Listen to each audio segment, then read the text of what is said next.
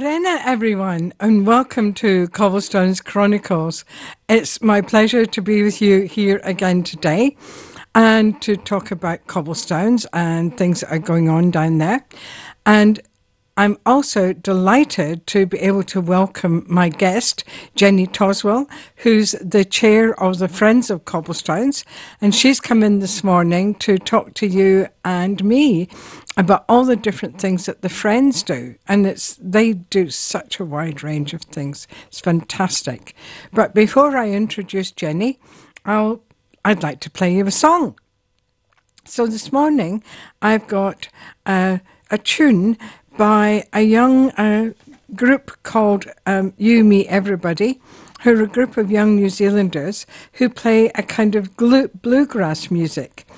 And this track that I'm going to play you is called Devil in a Bottle of Whiskey. So it's quite a fun track. Here we go. How long it takes to find the devil in a bottle of whiskey. You can search all day and you can search all night, but trouble is all you'll find. Your sorrow won't drown, your wallet is empty, and so is half of your glass. But the devil don't mind that it's in you can't find, cause he's hiding in a bottle of whiskey. The streets are dull, the sky is grey, working long hours all day. Your steps are short, your pace is slow, and so is the speed of your brain.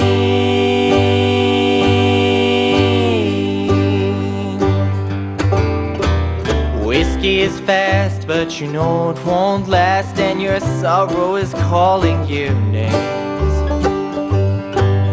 So you drink till you cry and you see the devil smile Cause he's hiding in a bottle of whiskey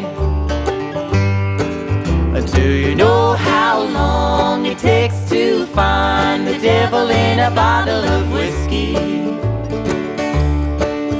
You can search all day, you can search all night But trouble is all you'll find Your sorrow won't drown your wallet is empty, so is half of your glass. The devil don't mind that it's him you can't find, cause he's hiding in a bottle of whiskey.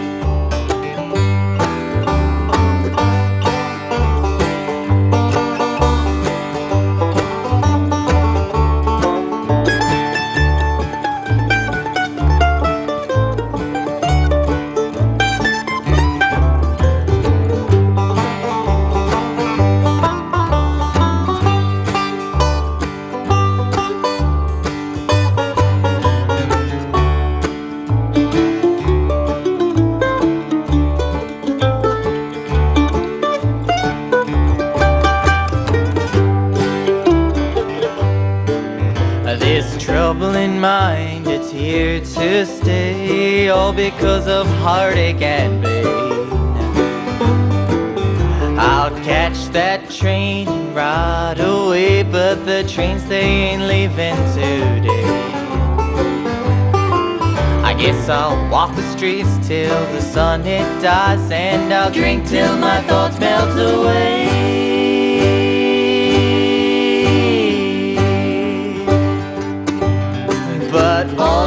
All I do is cry and see the devil smile Cause he's hiding in a bottle of whiskey Do you know how long it takes to find the devil in a bottle of whiskey? You can search all day, you can search all night But trouble is all you'll find Your sorrow your glass. But the devil don't mind that it's him you can't find, cause he's hiding in a bottle of whiskey. But the devil don't mind that it's him you can't find.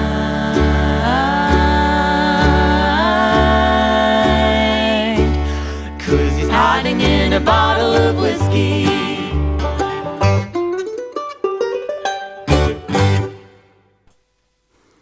That was The Devil Hiding in a Bottle of Whiskey by the You, Me, Everybody group. Um, who come from based around Hamilton, and um, they're just absolutely delightful. I I've known and been listening to them for some years now, and they've um, very talented young people. So this morning, it's my pleasure to welcome Jenny Toswell. And Jenny's been around the Wairarapa for a long time now. She's going to tell you a bit more about that.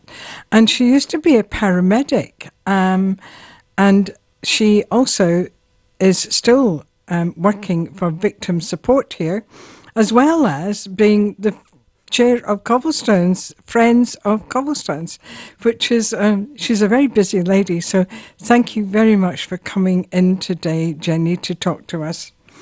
And would you like to tell us a little bit about what Friends of Cobblestones do? Yes, certainly, I would. Um, and uh, good morning, Janette, and thank you for asking me to come along. The Friends is, is basically it's a group of um, we're all volunteers, and we all love cobblestones. So what we do, we have um, meetings every two months, which are held on a usually held on a Sunday, and very often finish with a glass of wine, and we discuss our plans for what cobblestones might need, re the grounds, um, and the buildings, and also um, what events are coming up. So really, we're sort of the workforce um, behind cobblestones keeping the grounds looking the way they are. We have a dedicated uh, band of volunteers who beaver away in the garden every spare moment they have, and then we have working bees when required just to keep the grounds looking like a park. And we're very proud of cobblestones. Um, somehow or another, it, I started off as just one of the gardeners, uh, volunteers, and suddenly I found myself as chair of the friends, and I I love it, and it really does get under your skin, and you feel you're part of a very special place because Cobblestones is it's a historic village plus the museum, of course. But there's so many wonderful stories um, involved with the buildings and the all the horse-drawn vehicles, etc., etc. That is uh, makes up Cobblestones. Oh, lovely. Thank you. Um, it's just, I know that you do a huge, the friends do a huge amount of work for cobblestones. And I'm always amazed. I wish I had such good gardeners in my own garden. and that because the gardeners are, are, just great. And I've in the past bought a few plants from the gardeners who I know grow a few extra plants and they always do really well in my own garden.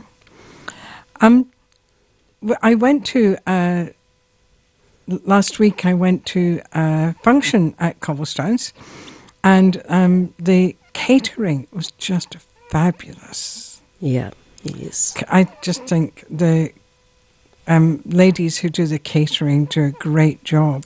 Do you want to tell us a bit more about what they do? I will. Well, we, as Janette has said, we have a wonderful band of caterers, men and women who somehow or another just keep turning out this wonderful food. And um, as Janette said, excuse me, um, we had a big function with the Greytown Trustlands Trust celebrating 150 years last week. And the finger food and service that these volunteers provided was just quite superb, and we've had the most amazing comments from uh, the members of the Greytown Trustlands Trust.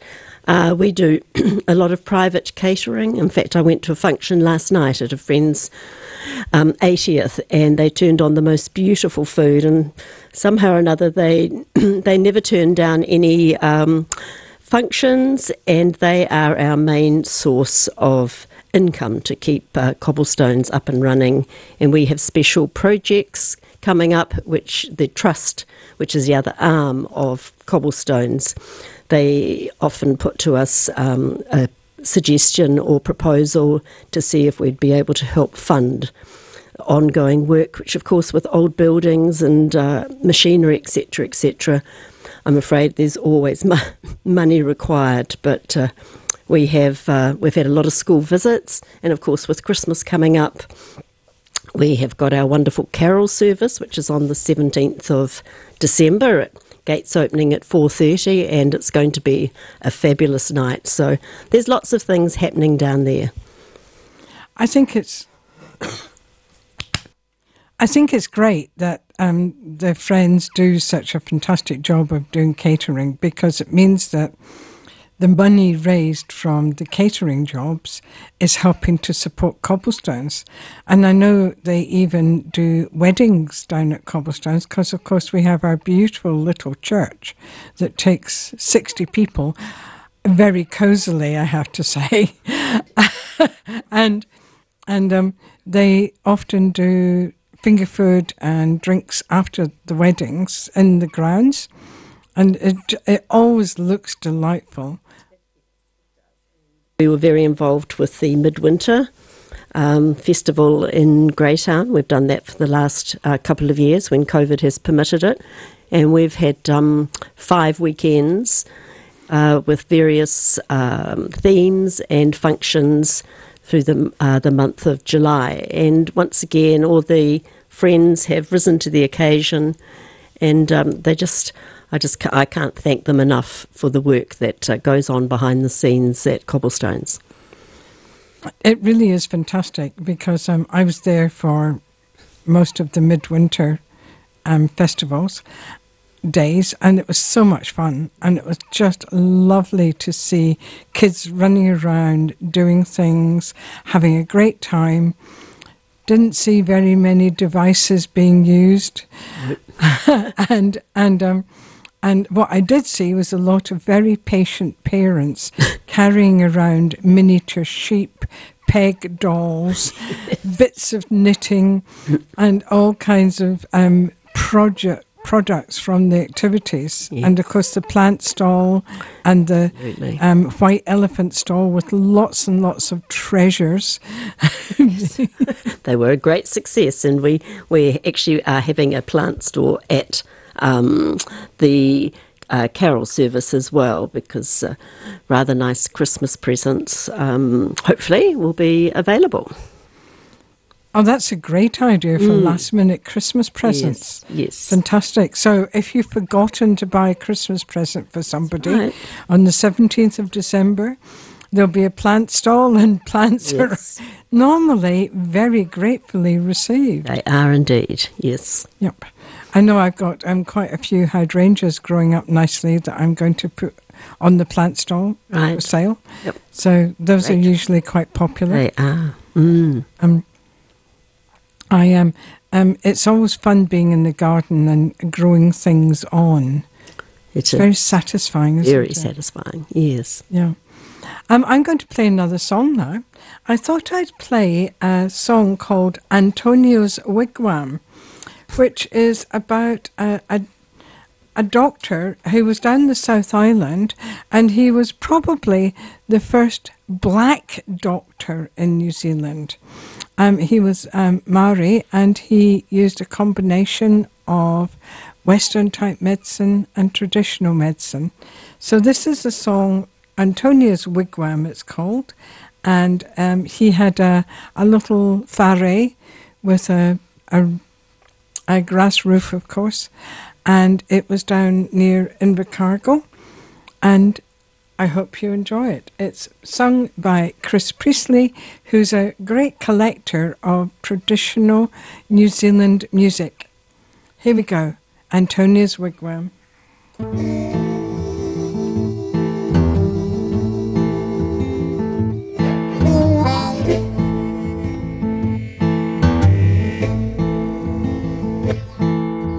Her dad was a hawker on the Thames Goldfield. She was born in a covered cart. Mum was a gypsy with a crystal ball, and Lil had a gypsy's heart. She could dance all night, could tiger Lil. Her spirit was wild and free.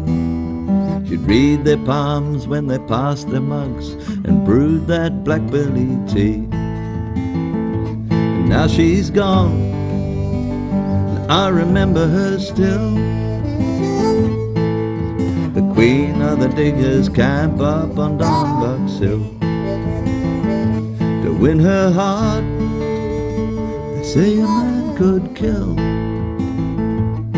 Oh, she made them sigh, cause the price was high, till the bottle ran dry. Tiger Lily.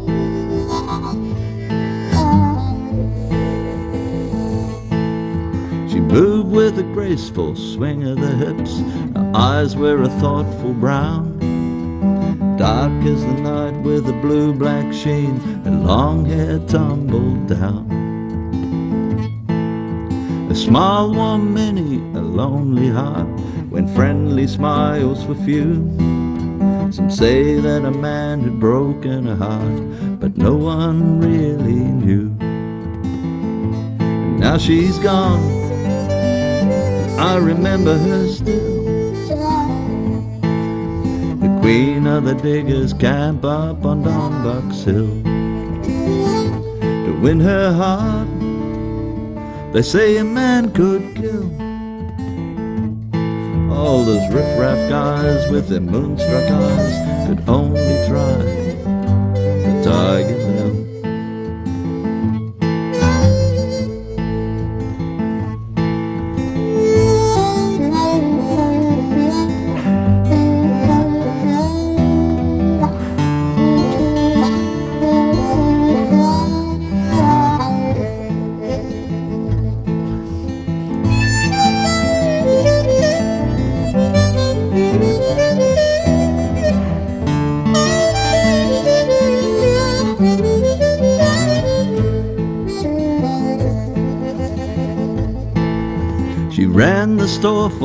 diggers' needs and understood them well.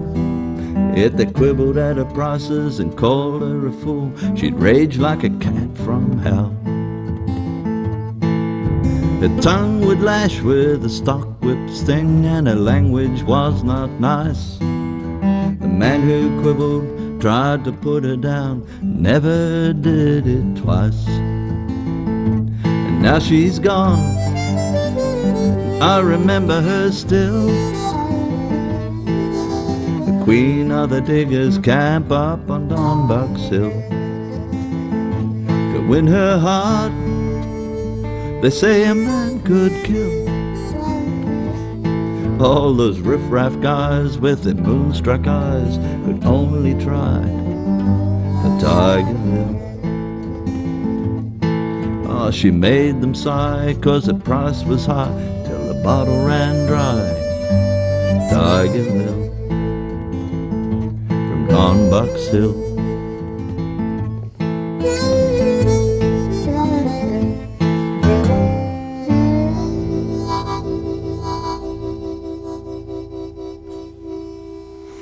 So that was Chris Chris Priestley, and I'm sorry I played the wrong song. That was Tiger Lil. I'll play Antonio's Wigwam later. But before I do, um, I'll just have a final chat with Jenny. So I know that you're everybody's really looking forward to carols at cobblestones and so many people are just so excited about it and because we can we can do it definitely this year and not organized at the last minute That's right. i have to say that i really admired the way the friends just pulled together last year and organized carols at cobblestones at the last minute because they were determined that we wouldn't miss out That's right, yes, because with having no um, Christmas parade, unfortunately, for the past two years, but hopefully in the future that we hope to see that um, remedied. But uh, we just felt that the children had had such a, a lackluster and, um, and not a lot of fun stuff with the COVID um, lockdowns, and we just decided that no, we're going to go ahead with it, and and it was wonderful, and it's going to be just as good bigger and better maybe and we've got uh, a couple of uh, local groups from the Kuranui and college and um, the Blue School plus a wonderful group that are coming along to entertain us. Father Christmas will be there and his elves. Uh, he'll be arriving in some interesting um, uh, vehicle, so that's going to be a surprise for everybody. And as I say, there'll be fabulous food by once again by our caterers, wonderful sausage sizzles, and as I've mentioned before, the plants. So every, you bring along a picnic and a rug. The gates open at four thirty, and we would love to see as many people there as possible. And we'll just keep our fingers crossed that the weather gods shine upon us.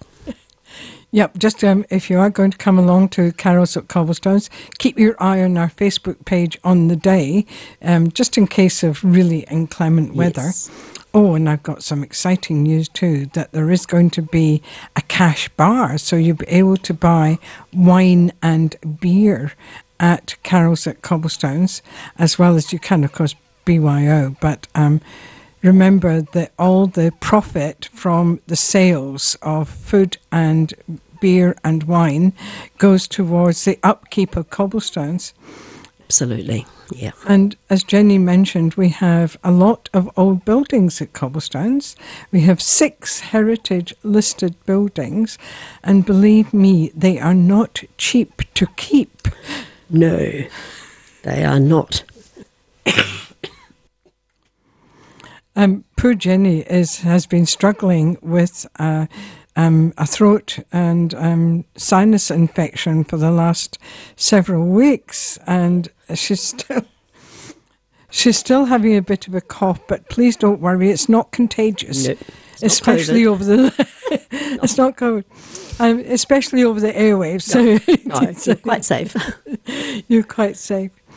So, um, I will play another song now, and um, and we'll say goodbye to Jenny while I'm seeing her out. You can listen to "My Father's People," which is written performed by Niels Gedge, who just happens to be my husband, and part of his. Um, part of his group of ancestors did actually come from this area. They came from Mahara, which is a bit further north from Masterton, and um, they were, of course, Scandinavian and settled here in New Zealand, and um, they they farmed up there. So, I will just cue that up, and here we go for my father's people.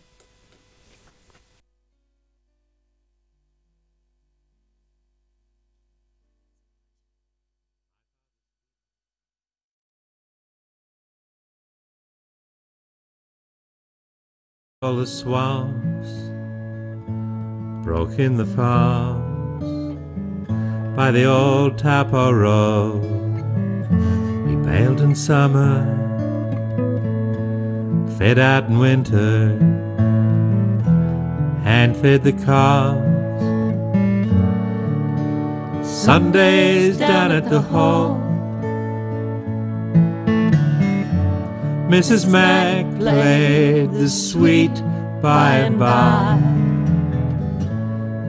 And old Pop Finley was still waiting on the lawn to lift, Lift him up. him up to his home to his home in the sky. Time came, we moved to the city, packed a big truck, drove over the hill. But deep down inside, we were sons of the forest. Guess in my heart I'm living there still. Mrs. Mac, hair in a bun. Upright as her old piano. Hear her daughter is living in Sydney. Last week her grandson emailed from Rio.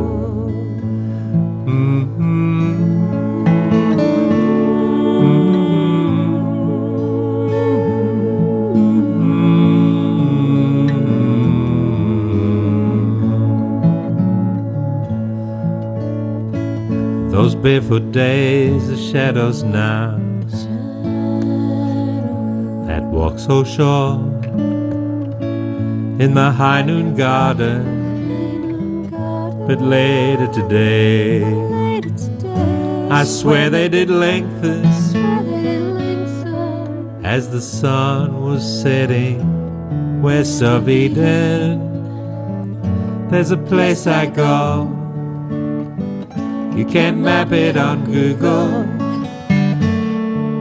Place I go, you can't get there by car.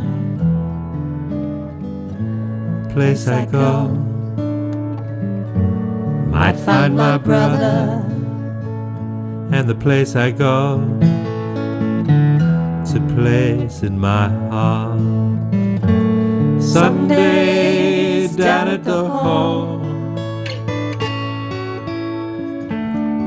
Mrs. Mac played the sweet by and by. And old Pop Finley was still waiting on the lawn to lift him, him up to his home, to his home in the sky. To lift, To lift him him up to his To home, his home in the sky.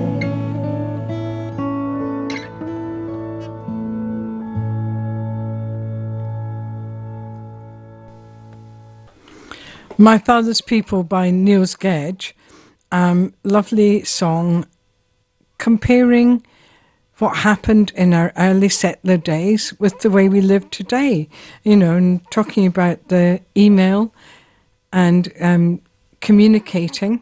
And I know that in the early settler days, um, when Greytown was settled and when Masterton was settled and Carterton was settled, all in the second half of the 19th century, people left wherever were, their home country to come to New Zealand, and they knew that often they wouldn't see their loved ones, their family again. They wouldn't see their parents, and they wouldn't see. They often wouldn't see their brothers and sisters, unless sometimes the brothers and sisters, of course, came out to New Zealand. But it was a huge step. Whereas these days we take kind of take it for granted that we can be in touch with people, we can go and see them. We're start we're starting to travel again. We noticed at Cobblestones that there's quite a few international visitors coming through now. People are coming to visit New Zealand, which is, is great. It's lovely to see people.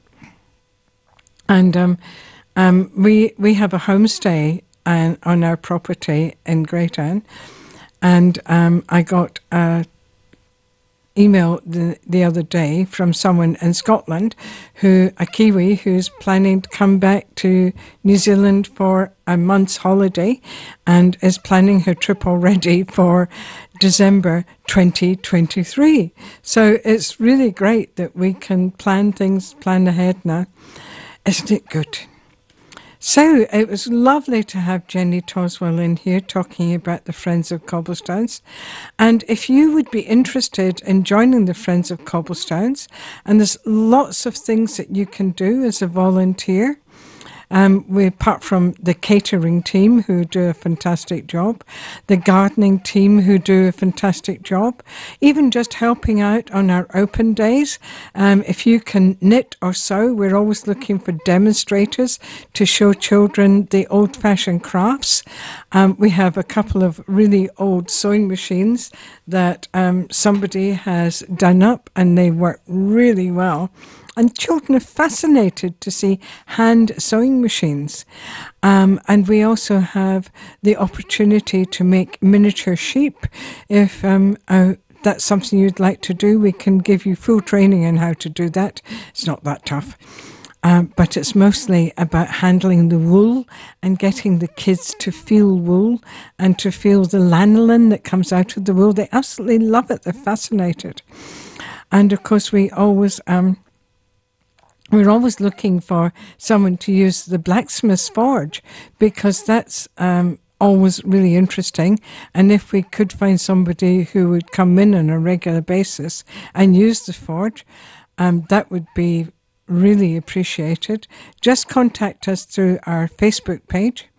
We also have a, a group who on Wednesday mornings are in the workshop and they are restoring some of our old carts.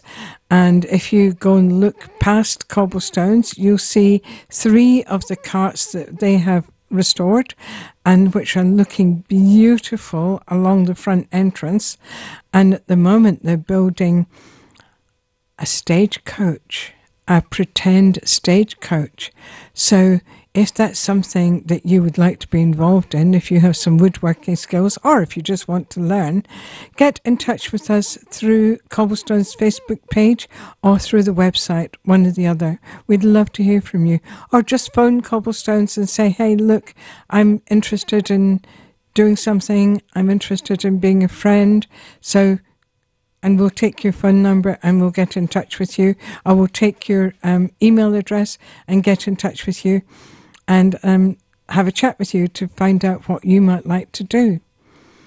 And as we said, Carols at Cobblestones on December the 17th is going to be such fun.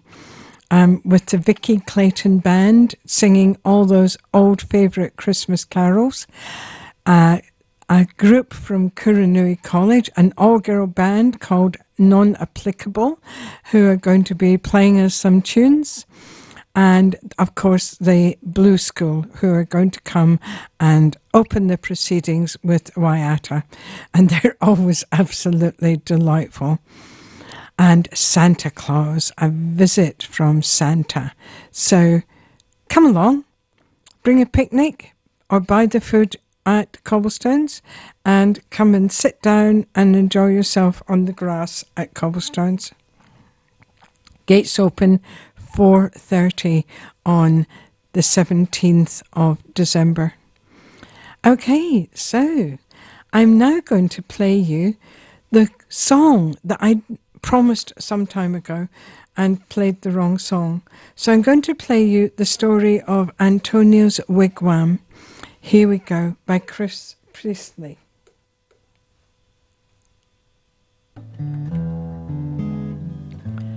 Antonio's Wigwam. My father's people cleared a forest.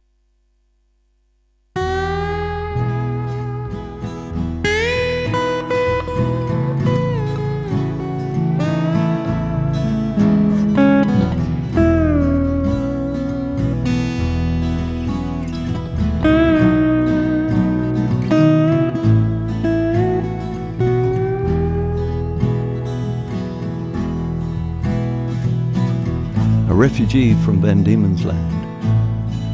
But how we got there, no one knows.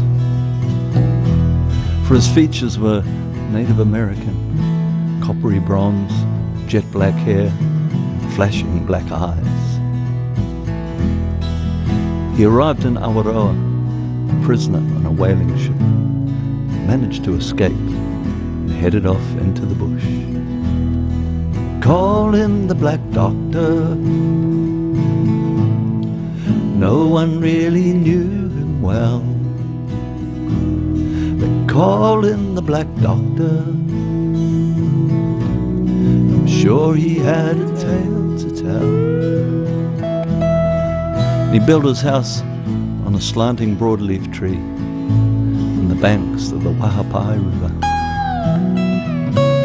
And he believed one day world would turn upside down and those without proper attachment drop off into space. And he lived with cats and dogs and birds and had a magnificent garden from which he would procure herbal remedies.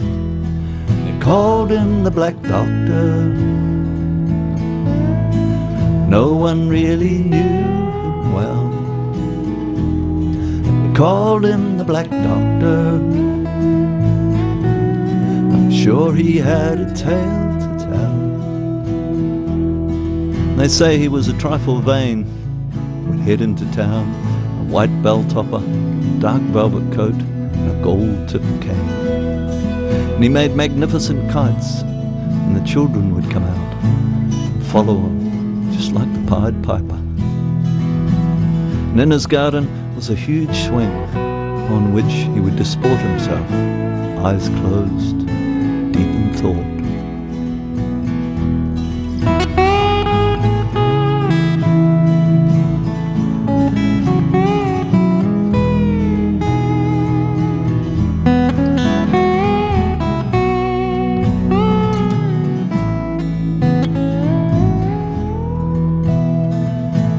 And at the time, people squatted everywhere.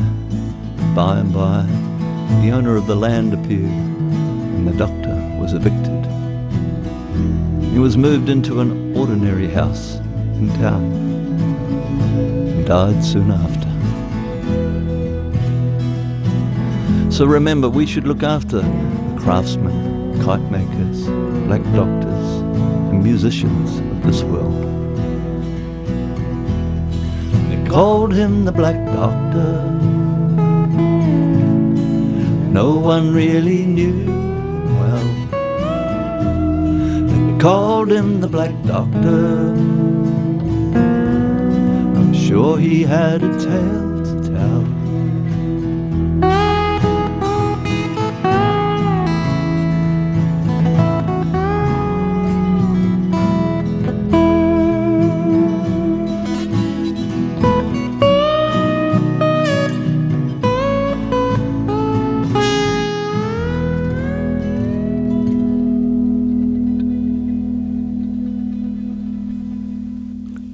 Colin the Black Doctor, um, a traditional s- story put to song and tuned by Chris Priestley. And um, he does a wonderful job of collecting the old stories and the old songs and recording them for posterity because we're still quite a young country and it's great to make sure that we keep all the songs and keep all the um, the stories alive. And I hope that you're enjoying Cobblestones Chronicles, and I'd love to hear from you. So if you want to give me some feedback about what you would like to hear about more or some or whatever else you're interested in, please send me a message through Cobblestone's Facebook page. I look after our Facebook page, so you will get to it will get to me, and um, I'd be delighted to hear from you and chat with you. It would be really good fun to hear more about what you're interested in. So Cobblestones has um, had a busy year, and we yesterday we had a visit from a school, Ponatahi Christian School, and we had the five, six, and seven year olds, and they were absolutely delightful. We had a lot of fun dressing them up in um, kind of things that would have been worn in the 1870s by little kids. We had waistcoats for the boys, and pinafores and mob caps for the girls, and they they um, they had such a lot of fun doing a lot of different things, being in the school and hearing about handwriting and lessons that the kids would have had in the 1870s. And then um, they did a scavenger hunt. So they went off to find the answer to various questions. And it was a great way of.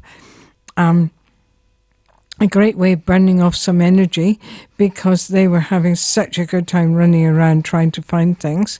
We also got the fire engine out and they all sat in the fire engine and discovered more about how the old fire engines worked and what they used to do. Our lovely fire engine was um, built in the 1950s in England and brought out, and it's um, it's in the museum. It's kept in the fire station, which is actually an old building from Carterton, and the the fire engine was in service in Carterton throughout the 50s and 60s, and I believe in well into the 70s uh, before it was replaced. And then Carterton Fire Brigade very kindly gave it to us. And um, they also went through the cottage, and I was there dressed up in my costume, my Victorian style costume, which is a replica of a Victorian uh, lady's costume.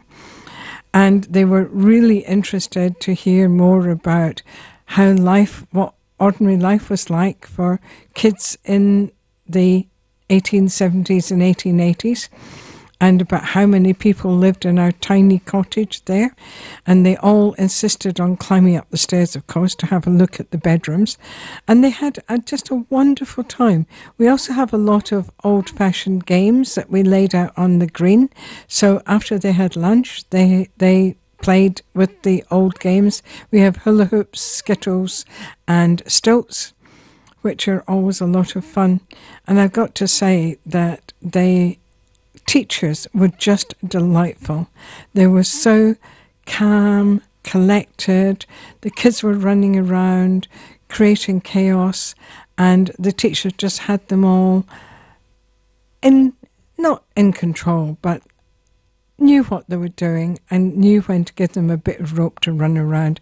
I think being a teacher is a fantastic job, and they the way the kids responded to them and the way they behaved, it was just delightful to see. So, and I talked a lot about when I was standing in the cottage in the kitchen about the kind of food that we had in the 1870s and 1880s into the 1890s because of course we ate a lot of mutton and lamb in New Zealand because we were growing the sheep for the wool shearing the sheep, and then the wool got sent off. But we had a lot of excess sheep. So lamb and mutton was very often the dish of the day. I'm going to play you a song now called Wild Mountain Stew, which is a little bit more exciting than mutton and lamb. Um, describes the way you make a wild mountain stew. Uh, this is by a friend of ours, Alan Downs, who is um, fantastic singer songwriter, was a farmer himself. He calls himself a recovering farmer. Um, he no longer farms, but he still lives in the Hawke's Bay. So here we go. Wild Mountain Stew by Alan Downs.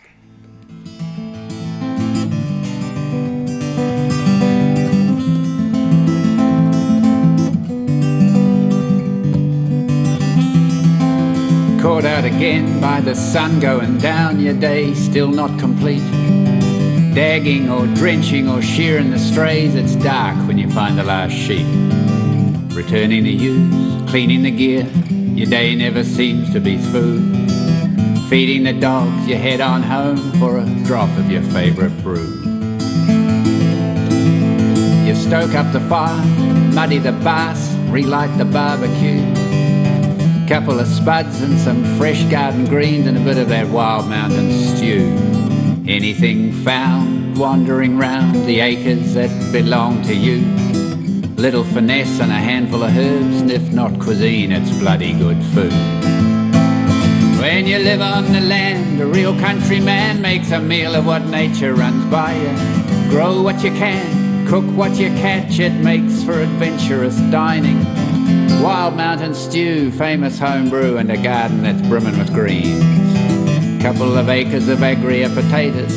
Anything wild, roadkill or beguiled will do for a wild mountain stew. The handpiece is hot, second cuts in your socks, well greased jeans stand alone. You glance at the clock, which appears to have stopped, remembering wild mountain stew. It's robust and it's pungent, sticks to your ribcage, gives you the will to do what you do. Looking back, it's good to remember the beer and the wild mountain stew. When you live on the land, a real countryman makes a meal of what nature runs by you. Grow what you can, cook what you catch, it makes for adventurous dining. Wild mountain stew, famous home brew, and a garden that's brimming with greens. Couple of acres of agria potatoes. Anything wild, roadkill or beguiled will do for a wild mountain stew. There's goats and there's geese, rabbit and hare, turkey, possum and mallard. Pheasant, venison or wild pig, anything without an earmark. All of it's good with a long, slow cook. There's trouts and eels in the river and creek. When game gets a little passe, sometimes you come across the odd wild sheep. When you live on the land, a real countryman makes a meal of what nature runs by you. Grow what you can, cook what you catch, makes for adventurous dining. Wild mountain stew, famous home brew, and a garden that's brimming with green. A couple of acres of agria potatoes. Anything wild, roadkill or beguiled will do for a wild mountain stew. Alone once again as the sun's going down, your day's still not complete. Dagging or dipping or shearing the stray that's dark when you find the last sheep. Are you living to eat? Are you eating to live? Does it make any difference to you? You look in the fridge for that famous beverage, another day's just passing through. When you live on the land, a real countryman makes a meal of what nature runs by you. Grow what you can, cook what you catch, it makes for adventurous dining. Wild mountain stew, famous home brew, and a garden that's brimming with green. Couple of acres of agria potatoes. Anything wild, roadkill or beguiled, or the kid's pet lamb will do.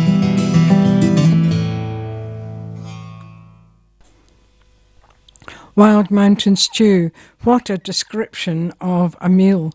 I have to say that I'm quite pleased that Alan's never offered to cook Wild Mountain Stew for us. Um, I know he makes a very fine lasagna, but um, didn't ask what else was in it. I have to say, it tasted good. So um, I'm almost at the end of this today's program.